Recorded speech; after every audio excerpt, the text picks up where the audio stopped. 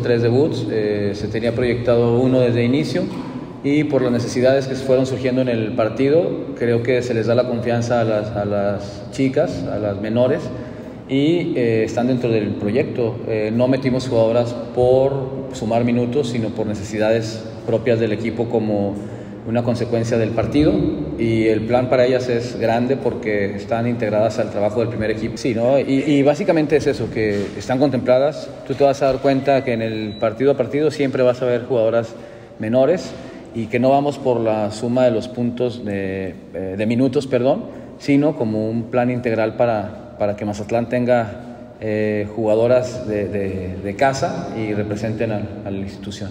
Sí, yo creo que es importante que el talento local eh, surja y se muestre.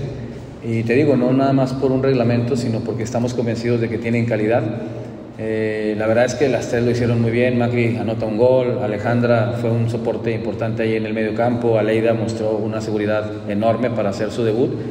Y más allá de eso, enfrentaron a jugadoras de renombre, jugadoras con mucha experiencia. Y creo, y no creo, estoy convencido de que ese trabajo va a rendir frutos.